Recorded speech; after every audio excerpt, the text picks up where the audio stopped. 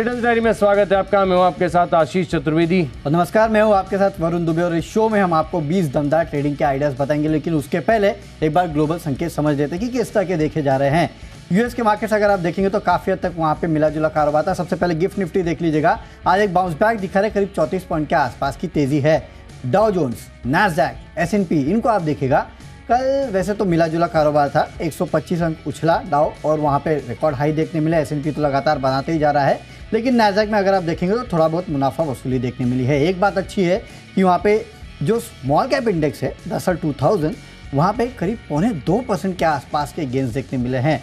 ये एक अच्छा संकेत है, वैसे तो हमारे मार्केट्स के। कल में देख रहा था स्मॉल कैप मिड कैप जिस तरह से मार्केट मची है वहाँ पे, पंद्रह पंद्रह, बीस बीस परसेंट के आसपास की गिरावट काफ़ी सारे छोटे मजोले या फिर mid cap small cap stocks में देखने मिली। इसके चलते काफ़ी सारे इन्वेस्टर्स का या फिर ट्रेडर्स का कॉन्फिडेंस जो है, वो काफ़ी कम हो चुका है। तो देखते हैं इसका फॉलोअप इम्पैक्ट आज कितना देखने मिलता है, क्योंकि खासकर काफ़ी सारी सरकारी कंपनियाँ थी जहाँ पे कल गिरावट देखने मिली। हमारे लिए एक संकेत आज अच्छा है, और वो है सीपीआई और आईआईपी का आंकड़ा। सीपीआई नीचे आया है, हालाँकि 5.1 परसेंट के आसपास ज़्यादातर अगर आप देखेंगे तो लोगों का अनुमान था, उसके आसपास ही आया है। आईआईपी अगर आप देखेंगे तो वहाँ पे महीने दर महीने मतलब नवंबर के मुकाबले दिसंबर में अगर आप देखेंगे तो बढ़ोतरी देखने मिली तो दोनों ही संकेत सी पी के हमारे लिए अच्छे हैं। ग्लोबल संकेत स्थिर हैं। देखते हैं कितना इम्पैक्ट होता है। हालाँकि आज यूएस का सीपीआई आंकड़ा आएगा। उसके पहले यूएस के मार्केट्स किस तरह का एक्शन दिखाते हैं, इस पर नज़र होगी। फ़िलहाल डॉ फ्यूचर्स नैदक फ्यूचर्स जो है, वो लाल निशान में कारोबार कर रहे हैं। तो मिक्स क्यूज है। स्टॉक स्पेसिफिक एक्शन जारी रहेगा। वहीं पे हमारी नज़र है। मिक्स्ड क्यूज है। फ़िलहाल स्टॉक स्पेसिफिक एक्शन पर नज़र रख के चलेंगे, लेकिन कल की आई है भारी गिरावट और उसके बाद वरुण, मुझे तो उम्मीद है कि आज बाउंस बैक देखने को मिलता है। आपको क्या लग रहा है? उम्मीद है बाउंस की? गिरने का कोई रीज़न नहीं है। बाउंस बैक होगा कि नहीं होगा आशीष ये तो पता नहीं लेकिन गिरने का कोई रीज़न नहीं है। जैसे कि मैं कह रहा था सीपीआई आईपी हमारा हम्म। जो कि अच्छा आया है यूएस के मार्केट से भी कोई क्यूज खराब नहीं है। बिल्कुल। अब कल भी क्यों गिरे वो भी समझ में नहीं आया वैसे तो। आज भी क्यों गिरेंगे उसका कोई रीजन नहीं है। इसके लिए आना तो चाहिए बाउंस बैक हाँ। अब वो आज आता है कि कल आता है ये सिर्फ़ टाइम बताएगा। ये क्लोजली वॉच करना होगा हाँ। लेकिन अगर आपके पोर्टफोलियो में क्वालिटी स्टॉक है तो घबराने की कोई भी आवश्यकता नहीं है। शुरुआत कर लेते हैं हमारी पहली कैटेगरी के साथ। कैश की कैटेगरी होती है। और नतीजों के आधार पर वो स्टॉक बता रहा हूँ जो। काफ़ी निश्चित स्तरों से लगातार हमने आपको रिकमेंड किया तिलक नगर इंडस्ट्रीज़ यहाँ पर आप करिएगा खरीदारी। क्योंकि कंपनी के नतीजे हैं। अच्छा नतीजे अगर आप केवल मुनाफे का आंकड़ा देखेंगे तो आपको लगेगा नतीजे तो कमज़ोर है। लेकिन पिछले साल अगर आप देखें तो इक्यावन करोड़ का एक मुश्त मुनाफा था। तो अगर आप उसको एडजस्ट करके देखेंगे तो इस बार भी अच्छी ग्रोथ देखने को मिली है। आय 24 परसेंट बढ़ी है और मार्जिन पिछले साल की तरह बिल्कुल 13.6 परसेंट पर स्थिर देखने को मिला है।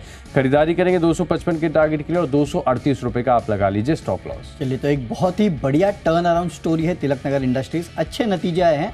उसके चलते यहाँ पे खरीदारी की सलाह है। मेरे तरफ़ से भी एक रिज़ल्ट वाला ही स्टॉक है और वो है एलगी इक्विपमेंट यहाँ पे आप खरीदारी करके चल सकते हैं 700 के लेवल के लिए। 674 का आप स्टॉप लॉस रखिएगा। कंपनी के नतीजे अच्छे हैं। आय में साढ़े छः परसेंट की बढ़ोतरी है। मार्जिन 14.8 परसेंट से बढ़ के 15.6 परसेंट पे आए हैं। मुनाफे में 5 परसेंट के आसपास की बढ़ोतरी हुई है। इसके चलते तेज़ी देखने मिल सकती है। खरीदारी करके चलेगा स्टॉक में। अगली कैटेगरी फ्यूचर्स की और फ्यूचर्स में GMR एयरपोर्ट नब्बे के लेवल के लिए खरीदारी करना है 85 का स्टॉप लॉस रखना है। MSCI ग्लोबल स्टैंडर्ड इंडेक्स में ये शामिल हो चुका है। जितने भी नाम हमने आपको इसके पहले बताए थे कि ये शामिल हो सकते हैं, उसमें जी एयरपोर्ट का नाम नहीं था। ये एक सरप्राइज़ एलिमेंट बन के आया है तो मेरे ख्याल से आज स्टॉक में अच्छी खासी तेज़ी हो सकती है। जी एयरपोर्ट में कीजिएगा खरीदारी। जी एयरपोर्ट से स्टॉक है फोकस रखेंगे। अच्छा फ्यूचर्स के आधार पर स्टॉक में चुन रहा हूँ कोल इंडिया जहाँ पर आपको करनी है खरीदारी।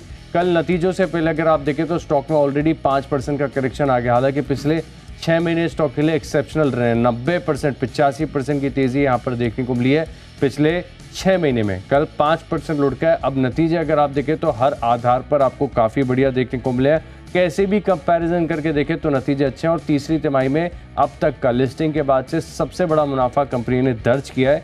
एफ़ की तुलना में अगर आप देखें तो ई ऑप्शन का जो प्रीमियम है वो कैलकुलेशन के लिहाज से 117 परसेंट आ रहा है। अपने आप में नतीजे काफ़ी मज़बूत हैं और कल की गिरावट एटलीस्ट रिकवर होनी चाहिए तो फ्यूचर्स में यहाँ पर खरीदारी करेंगे।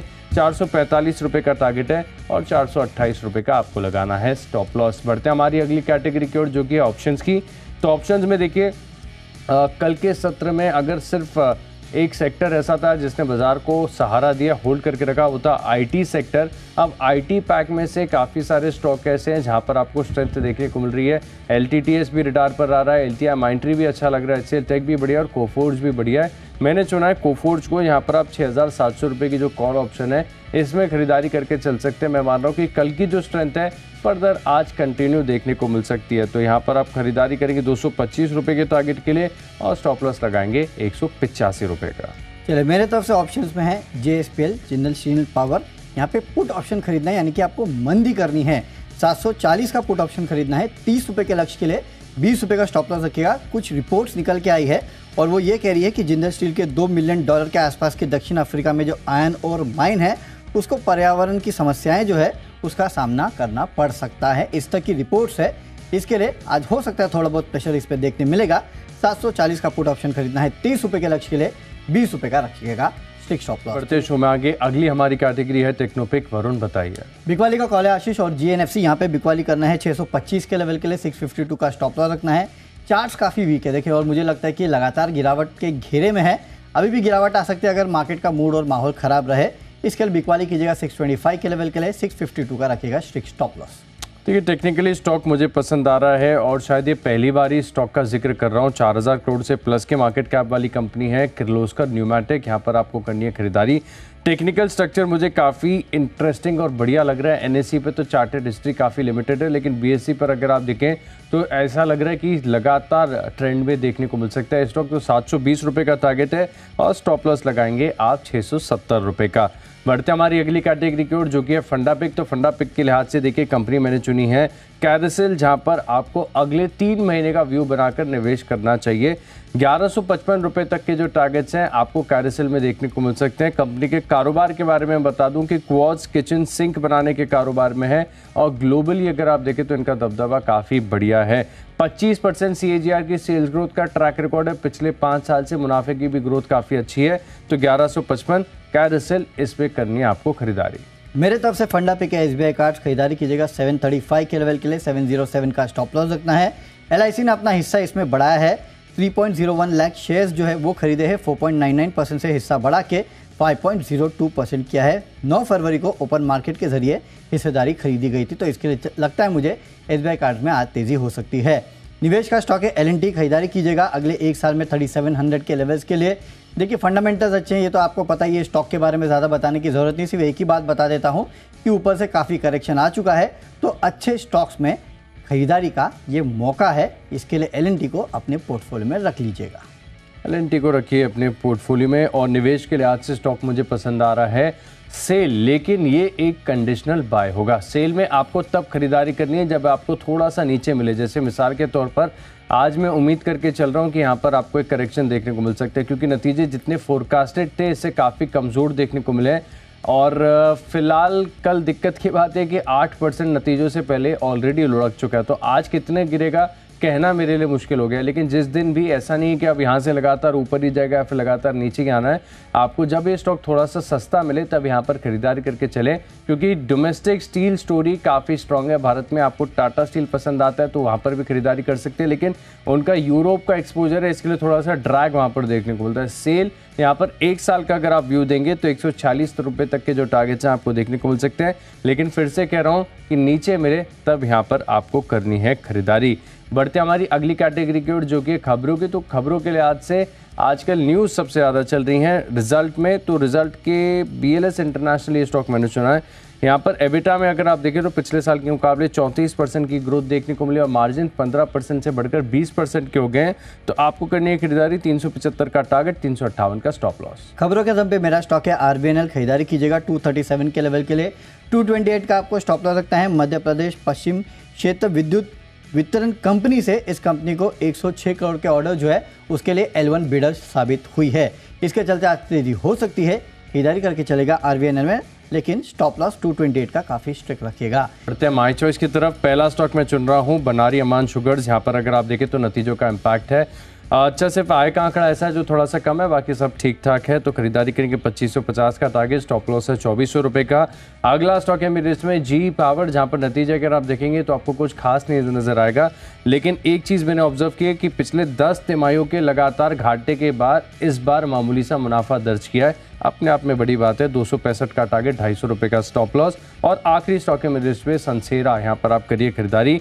अच्छी बढ़त यहाँ पर देखने को मिली, मुनाफे में पचपन परसेंट की एक हज़ार चालीस का टारगेट नौ सौ नब्बे का स्टॉप लॉस माई चॉइस में पहला स्टॉक है पाक होटल कल ही लिस्ट हुआ है, लेकिन आज आपके लिए ट्रेडिंग के मौके बन सकते हैं। 210 के लेवल के खरीदारी करना है 199 का स्टॉप लॉस रखिएगा। फंड्स ने कल खरीदारी की है, कौन? म्यूचुअल फंड ने 93 लाख शेयर्स खरीदे हैं। मेरे ख्याल से इसके चलते आज फिर एक फॉलोअप बाइंग देखने मिल सकती है। इंटरग्लोब एविएशन 2980 के लेवल के लिए बिकवाली करना है। 3100 का आपको स्टॉप लॉस रखना है। गंगवाल फैमिली का जो लॉक इन पीरियड है 150 डेज़ का वो कल खत्म होने वाला है तो शायद आज आपको सेकेंड हाफ़ में इसमें एक्शन देखने मिल सकता है। और आखिर में लेमेंटली में खरीदारी कीजिएगा 137 के लेवल के लिए 130 का स्टॉप लॉस रखना है। कंपनी ने तेलंगाना में आने वाले होटल के लिए लाइसेंस करार किया है तो इसका इम्पैक्ट आपको देखने मिलेगा। और इस केवल इस खबर के चलते लेमेंटली में आज आप पोजिशन ले सकते हैं। हम्म तो चलिए जो बीस स्टॉक्स हैं इनकी फोकस लिस्ट हो गई है तैयार। और अगर आपने कोई भी स्टॉक या कोई भी लेवल मिस कर दिया है तो पहले आप जल्दी से देखिए रिकैप कैश का स्टॉक लिस्ट में Tilak Nagar industries, Coal India के फ्यूचर्स में करनी है खरीदारी और कोफोर्ज में खरीदेंगे कॉल ऑप्शन। टेक्निकली पसंद आ रहा है किर्लोस का न्यूमैटिक फंडामेंटली कैरसल यहाँ पर तीन महीने का व्यू बनाकर करें खरीदारी और सस्ता मिले तो निवेश कीजिए। सेल में एक रुपए तक जाएगा। नतीजों का असर है बीएलएस इंटरनेशनल में। बनारी अमान यहाँ पर भी नतीजों का इम्पैक्ट और जी पावर लगातार 10 तिमाहियों के घाटे के बाद थोड़ा सा मुनाफा दर्ज किया है। सनसेरा में भी आ सकती है तेज़ी। इन दस स्टॉक में मेरा कन्विक्शन और भरोसा सबसे ज़्यादा है। टेक्निकल तौर पर किर्लोस्कर न्यूमेटिक खरीदारी करेंगे सात के टारगेट के लिए। कैश में खरीदारी करना है एलगी इक्विपमेंट में नतीजे आए स्टॉक में तेज़ी हो सकती है। फ्यूचर में जीएमआर एयरपोर्ट में करनी है खरीदारी।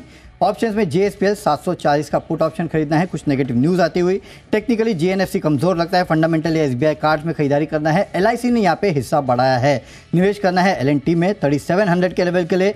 खबरों के दम पे आर वी एन एल में खरीदारी कीजिएगा। एक सौ छः करोड़ के ऑर्डर्स के लिए एलवन बिडर घोषित हुए हैं। माई चॉइस में पाक होटल और लेमेंटली में आपको करनी है खरीदारी, लेकिन इंटरग्लोब एविएशन सेकेंड हाफ़ में बिकवाली हो सकती है। यहाँ पे आप सेल की पोजीशन ले सकते हो। और आज का मेरा बेस्ट पिक है जी एम आर एयरपोर्ट खरीदारी कीजिएगा। 90 के लेवल के लिए 85 का स्टॉप लॉस रखना है। MSCI ग्लोबल स्टैंडर्ड इंडेक्स में शामिल हो रहा है ये। एक सरप्राइज़ नाम सामने निकल के आया है। इसके चलते स्टॉक में आज तेज़ी हो सकती है। चलिए हमने आपको स्टॉक्स तो बता दिए हैं लेकिन कल के कोहराम के बाद खासकर मिड कैप और स्मॉल कैप में जिस तरह से धुलाई हुई है क्या आज मंगल होगा या फिर आज फिर बजने वाली है बैंड? हालत हम्म। खराब भी हो सकती है एक फॉलोअप सेल ऑफ़ भी आ सकता है क्यूज काफ़ी सारे हैं ग्लोबल भी और लोकल भी जहाँ पे हमारे सीपीआई और आईआईपी के आंकड़े भी आए हैं। तो इन सब का विश्लेषण करने के लिए सीधे चलते हैं शेयर बाज़ार लाइव में जहाँ पे अनिल सर और दीपांशु भंडारी हमारे साथ जुड़ते हैं। फ़िलहाल दीप जुड़ चुके हैं। Deep good morning good morning Varun good morning Ashish Sanket तो वैसे कुछ भी खराब नहीं आ रहे हैं। ना ग्लोबल संकेत खराब है। जैसे आपने कहा, हमारे मैक्रोज भी अच्छे दिख रहे हैं। बट हाँ दो दिन से थोड़ा सेल ऑफ़ है स्पेशली मिड और स्मॉल कैप्स का। क्या आज संभलना है या फिर वापस फिसलना है? कहाँ पर रखनी है नज़र? नतीजों का भी रिएक्शन आने वाला है। आइए करते हैं शुरुआत।